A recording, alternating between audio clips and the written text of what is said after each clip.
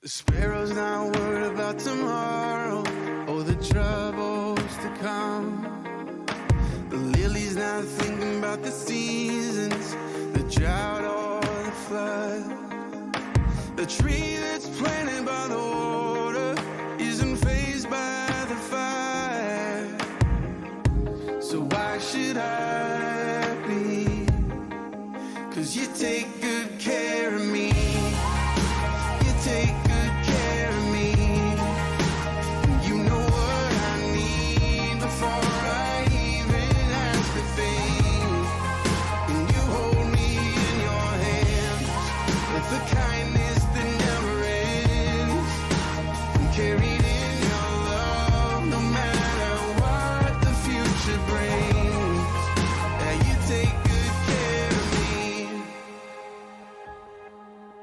The sun's not worried about the winter, cause soon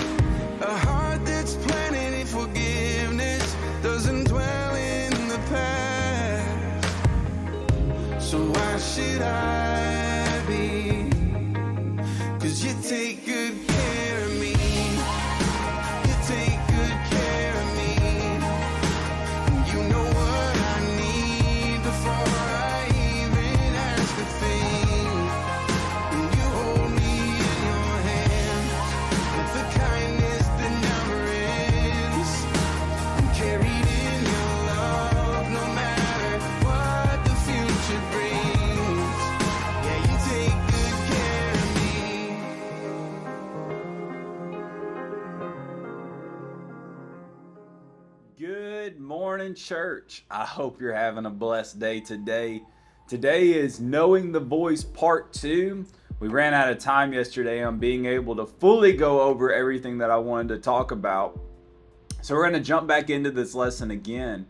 If you don't remember what we talked about yesterday, we're going to recap it just a little bit in the beginning, but just one quick announcement. We did have our end times curriculum last night where we went through the Church of Philadelphia. If you have not got a chance to go through and watch that, it's one of the most important and powerful churches out of the churches of the book of the Revelation. So you want to make sure that you go and you're following along. We are almost through with the semester. We're only coming up on a couple last weeks before our curriculums will be finished for not only the semester but also the quarters are finishing too. So we want to make sure that you participate in all that you can. Don't get behind but also get prepared and get ready. If there's a discipleship class you're looking to take, look at the schedule, see what's being offered next quarter. We're going to be releasing a sale very soon to, to give you an opportunity to buy their curriculums at a reduced price. And then we're gonna we're gonna do some amazing things uh, next semester. We got a couple things that we're working on. I don't know if we will release them or not going into the into quarter three but if not we'll release them in quarter four going into the spring. So we got just a couple things we're working on. The lord's moving in a in a variety of different ways in this ministry so we just want to make sure that we're doing exactly what god has spoken to us to do. So let me pray and then we're going to jump right into this lesson because we got a lot to go over today. So father i thank you I pray you bless everybody under the sound of my voice. Let the word become wisdom, revelation, and the knowledge of your Son. Spiritual seed sown, producing in our body, mind, will, and emotion, transforming us by the renewing of our mind, conforming us to the image of Christ, growing us up in the measure and the stature of the fullness of Christ. God, we love you and we thank you. In Jesus' name, amen. Well, go with me to 1 Kings 17. We're going to start here.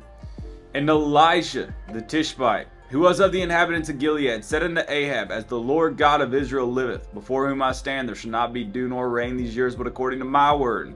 And the word of the Lord came unto him, saying, Get thee hence, and turn thee eastward, and hide thyself by the brook Cherith that is before Jordan.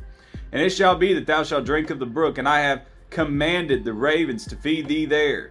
So he went and did according unto the word of the Lord, for he went and dwelt by the brook Cherith that is before Jordan.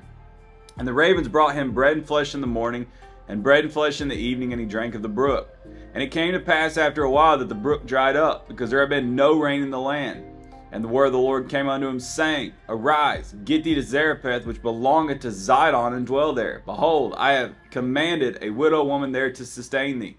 So he arose and went to Zarephath, and when he came to the gate of the city, behold, the widow woman was there gathering of sticks. And he called her and said, Fetch me, I pray thee, a little water in a vessel that I may drink. And as she was going to fetch it, he called her and said, Bring me, I pray thee, a morsel of bread in thine hand. Now, yesterday, we went back over a teaching that we started and we have done before in our series on provision and obedience when we were dealing with provision and obedience, we talked about this verse 2 and verse 8, which is the word of the Lord coming unto Elijah saying. And the word said means it proceeds out of the mouth. And the word is actually reference to speech or reference to the tongue. It's not reference to the lip because the lip changed at the Tower of Babel. The whole earth used to be of one language and of one speech but the language has shifted. That's why we need interpretation now. But God speaks us into the same speech according to the tongue, allowing you to understand. Everybody has the ability to understand and to hear from God. And then yesterday we went into John chapter 10. We're going to go ahead and read the passage. And then I'm going to talk for a second. Then I'm going to give you two foundational understandings, and I'm going to give two corrections. I'm going to re go back through them as we did yesterday. But I want to re explain my heart and why we're teaching this.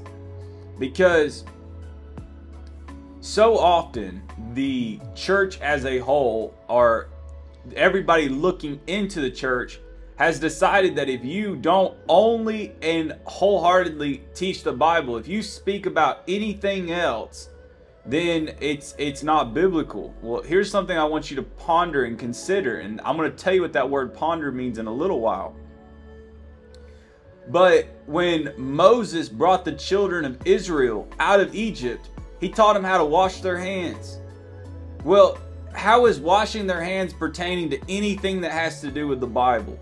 Well, it's because God is not just in your spiritual life, He's in your personal life, He's in your professional life. He wants to be with you on every step of the way. And it's the role of the church to mature you, to grow you up. And one of the ways we grow you up is through the Word. And through the Word, we learn interpersonal communication skills. We learn social, uh, cultural skills. We learn things that help us in every facet of life. And so, my job as a, as a teacher and as your pastor is to correct you in certain things that pertain to the Word of God.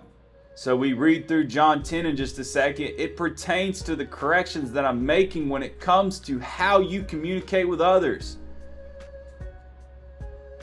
John 10 Verily I say unto you, verily, verily I say unto you, he that entereth not by the door into the sheepfold, but climbeth up some other way, the same is a thief and a robber. But he that entereth in by the door is the shepherd of the sheep. To him the porter openeth, and the sheep hear his voice, and he calleth his own sheep by name, and leadeth them out. And when he putteth forth his own sheep, he goeth before them, and the sheep follow him, for they know his voice.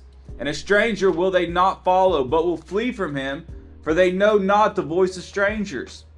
This parable spake Jesus unto them, but they understood not what things were, were which he spake unto them. Then said Jesus unto them again, Verily, verily, I say unto you, I am the door of the sheep. All that ever came before me are thieves and robbers, but the sheep did not hear them. I am the door. By me, if any man enter in, he shall be saved, and shall go in and out, and find pasture. The thief cometh not but for to steal, and to kill, and to destroy. I am come that they may have life, and they may have it more abundantly.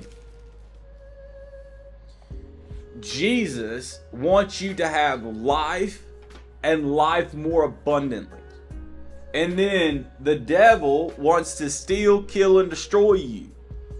And we know that we hear the voice of God because it's of the same speech, it's of the same tongue. We have the ability to understand what God is speaking to us. And the devil, it says, we know not the voice of strangers. Okay, so we need to talk for just a minute about what this means. We know not the voice of strangers. If you were to take a quick glance at this passage, and you, people always say, You know the voice of the good shepherd, a stranger you will not follow, you know not the voice of strangers. And and that right there is is a powerful truth if it's understood correctly. The thing that you must understand is you know the voice of God. When God speaks to you, you hear him and you hear him clearly. But a stranger's voice, you don't know and you don't follow. Well, what does it mean to not know the voice of strangers? Know not. Well, what does it mean to know something? To know something is to perceive it or to have a connection to it or to have familiarity with it. Knowing has to do with familiarity. So listen to this.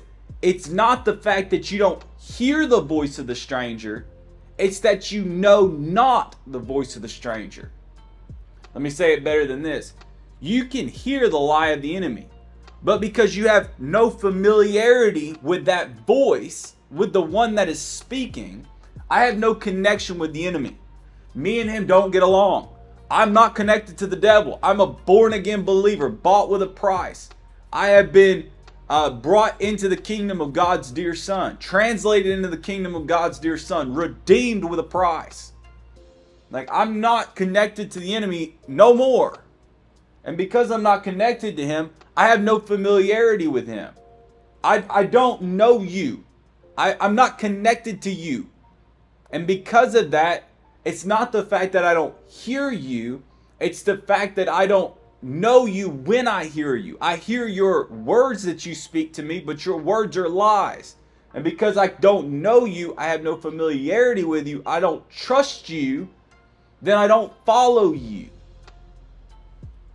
My your your kids follow their parents because there's a familiarity with that. They trust their parents. They have connection to their parents, so they follow their parents. They don't go with strangers because the first thing they say is, I don't know you. How am I supposed to trust what you say to me if I don't know you? We talked about this yesterday for a little bit. What's the easiest way to know God? Well, you spend time in God's Word. It's a great way to know God. And it's a great thing to know God when you pray and you worship and you spend time in the secret place. So knowing God comes from a root foundation in His Word. You might receive something prophetically, but it'll never come against God's Word if it's God.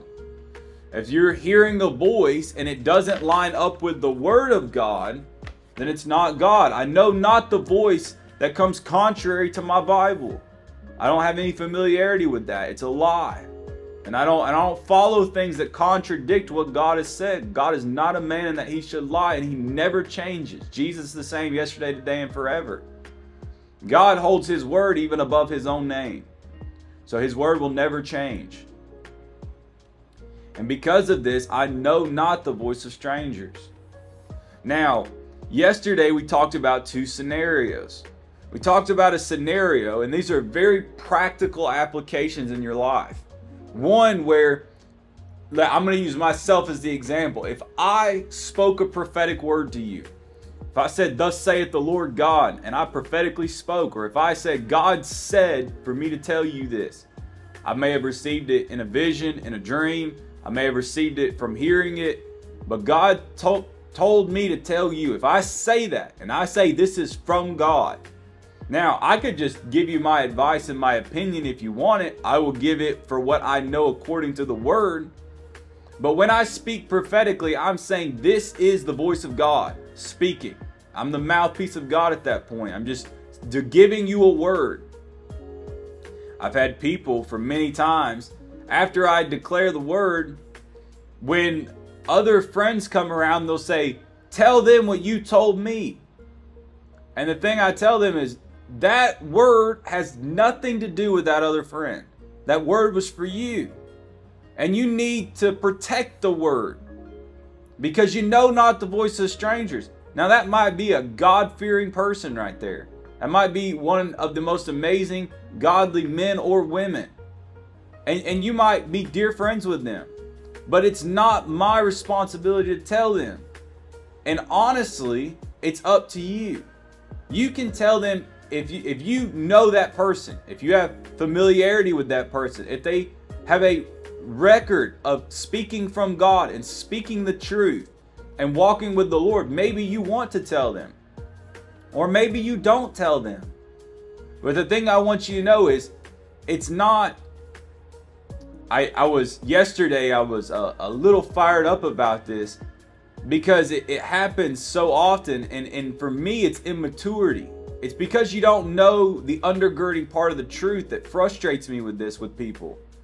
Like don't put me in the situation to have to say it to somebody else because i'm not going to. And i'm gonna and it's gonna be embarrassing to you because i'm gonna look at you and say no i don't have to tell that person or no i'm not gonna tell them. You tell them if you want to. It's very embarrassing when that happens. But the reason why I say it is because I understand the truth that you don't want to allow the enemy to speak after God has spoke.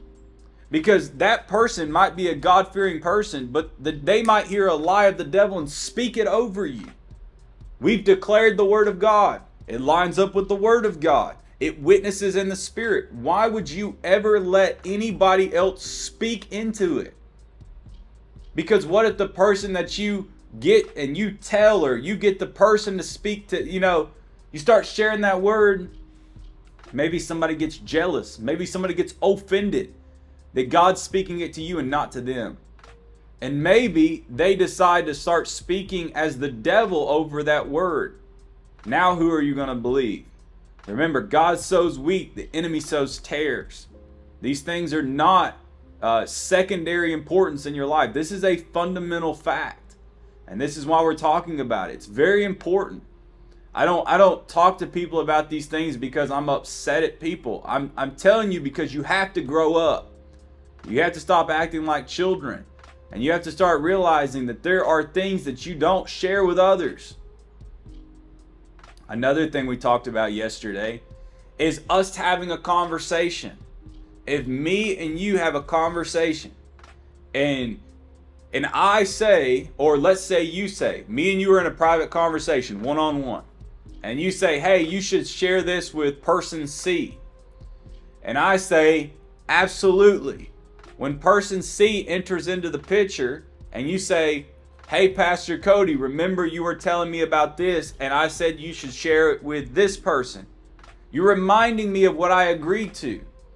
But if I have a personal conversation with you and then another person comes in and it was something I was sharing to you, if I don't share it with the other person, it is not your place to start asking me to share it with them. You might say, well, Cody, why does it matter? Because it's a respect thing. You don't share other people's business. I grew up in the deep south. Some of these things I felt like were very uh, everybody grew up learning them. All their parents taught them these things. I felt like they learned these things in school. But as I moved to Chicago, I've learned very often that people will push issues. If you ask me a question and I brush it off, or I give you a short answer, and then you ask me two, three, four times repetitive, repetitive questions about the same topic, I'm going to eventually tell you to be quiet. I'm going to tell you it's none of your business. There should be nonverbal cues where you understand that that person doesn't want to talk about it. And for you to push the issue is immature. It shows your lack of maturity. Or for you to start bringing up other people's conversations in front of other people. It's immature and you need to grow up. But the undergirding truth behind it is the fact that if if I share something with you I share it in confidence that it's me and you. If you share something with me, it's in confidence that it's you and me. It's not my place to share it when somebody else shows up. Nor is it your place to share what I said when somebody else shows up. That right there is, unless we've agreed to share it, then it stays private. You might say, well, Cody, why are, why are these two things so big? Interpersonal communication that is private versus public conversation or prophetic words being spoken forth where somebody asks me to tell somebody else. Why are these such big issues? Why is this something that I'm very passionate about yesterday and today to make sure that I tell you to correct you? Why is it so much of a big deal? It's because of the truth of John 10. It's the fact that the enemy wants to kill and destroy and steal from you. And the way he does that is by using people to step in and speak his words. Listen, the only people, the only way the devil or God has access into your life is if you let it. It's all about what you allow to come in because you have dominion over yourself. You can allow it in or out of your life. So you can allow God to move in your life if the word of God is sown in your heart and it grows up and you protect it. But the enemy can sow those tares if you allow him to speak into your life. You need to learn when to reject. I have people speak things to me and say and they'll they'll say, "Oh, you're going to get sick." And I say, "I don't receive that. I rebuke that. That has no place in my life." And that person usually will get offended when I say that. And I'm like, I'm not being mean to you. I'm just telling you, you don't speak the lies of the devil over me. I won't receive it. So there are times when you need to protect the words that are being gone forth over your life. Not every conversation is meant to be shared with other people, especially when the other person does not walk in the truth. If the person you're sharing it with isn't walking with God, or they're not walking with God on a regular basis, if you don't know them, if you can't trust, if there's not a familiarity in that, that what they speak is from God, then you don't share the things that are of God. Because you got you start sharing that, they'll start speaking that doubt, that unbelief. They'll be trying to do everything they can to convince you that what was spoken was wrong. And eventually you will not see the fruit of God produce in your life at all because you've allowed all these other voices to speak in. You have no familiarity with it. The Bible says you know not the voice of strangers. You will not follow it. But you keep allowing it into your life to dictate what you do. And I have people say, "Well, I'm not I'm not letting that change me." If it's being spoken over you, then you're letting it change you. Because every time they speak that, you let it into your mind. You start to think about it. Listen to this voice. Uh, Luke 2, verse 19. But Mary kept all these things and pondered them in her heart. You might say, well, what does that have to do with this? Well, this is dealing with the birth of Jesus when the wise men showed up, the shepherds showed up. And she took the word of God and she took the voice of the shepherd and pondered them. Well, what does it mean to ponder? It means to connect them, to put them together. That's what pondering means. Pondering, people think, oh, that just means you think about it. No, it means to take two separate thoughts and to figure out how they're connected together. How is an angel speaking to Mary about having a virgin birth and the shepherd showing up declaring the Messiah and all of these things that's being spoken, and Elizabeth and Zacharias having John the Baptist, and how she's pondering all of these things together. She's taking the Word of God and pondering it with the voice that God was using through the shepherds. The same thing over your life. When you read the Word of God and then a word is spoken over you, when you when you receive a prophetic word or you're having a conversation with somebody about something, you start to ponder it. You start to put these things together. And when you put them together, it will work in one of two ways. The first way is it's God speaking and God connecting it where all of the things of God's plan, purpose, and path over your life come together. And it shows you direction. It brings forth stability and security. It brings forth strength that what God has spoken is true. The prophetic word of God, when it came forth over my life and the visions I saw of Chicago, not only did they come to pass where I saw them physically manifest after I saw them in a vision, but they lined up with the word. I and then I got here and the words kept coming and I started to ponder them. I started to take all of the words that I've been getting from God and putting them together to see the full picture and to see what God is doing in my life.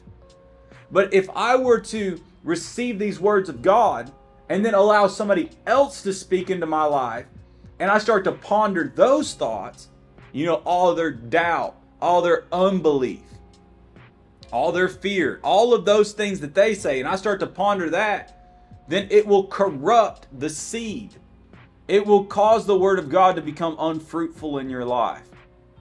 Eh, the cares of this world, the deceitfulness of riches, the lust of other things entering in, the lust of the flesh, the lust of the eyes, and the pride of life.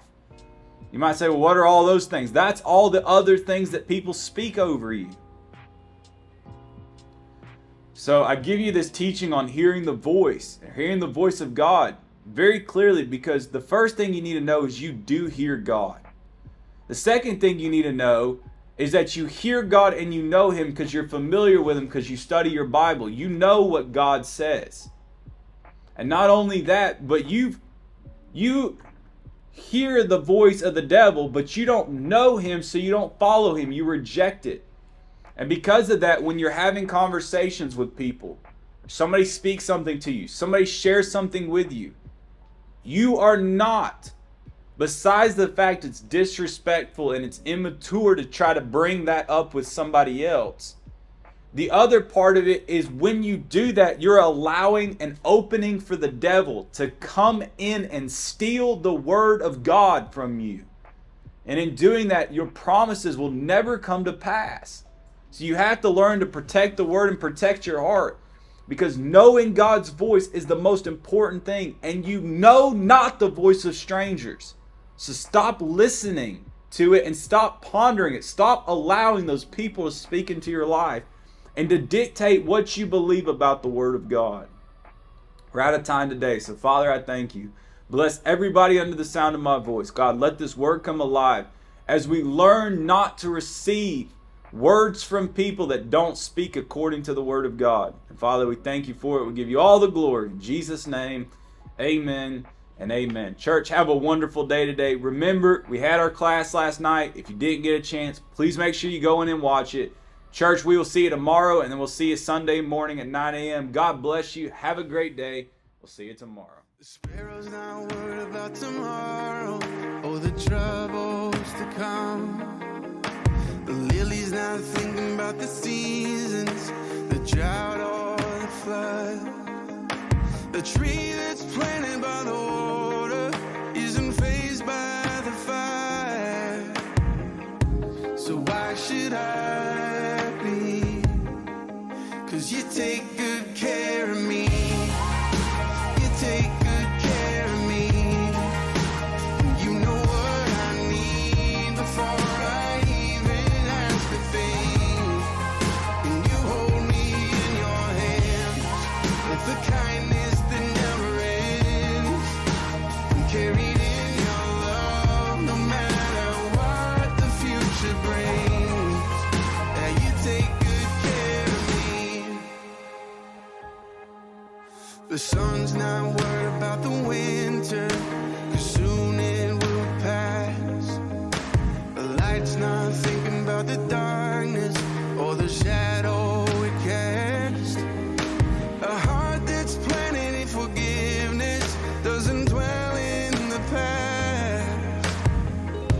So why should I be? Cause you take good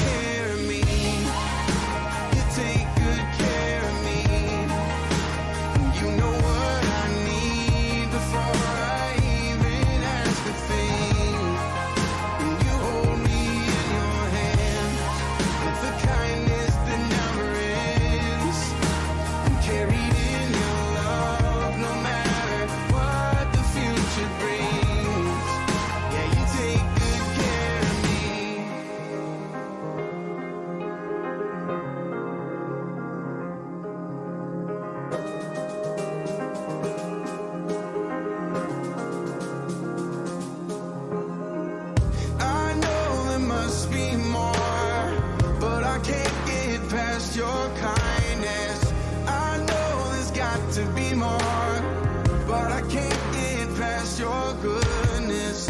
I know there must be more, but I can't get past your kindness. I know there's got to be more, but I can't get past your goodness. You take good care